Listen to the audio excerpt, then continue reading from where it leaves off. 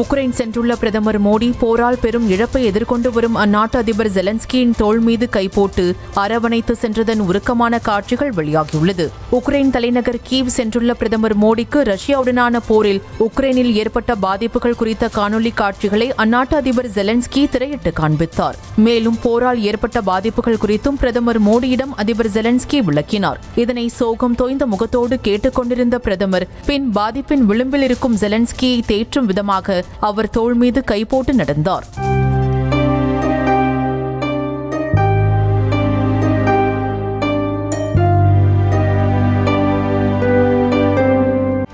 செய்திகளை உடனுக்குடனும் துல்லியமாகவும் தெரிந்து கொள்ள சப்ஸ்கிரைப் பண்ணுங்க.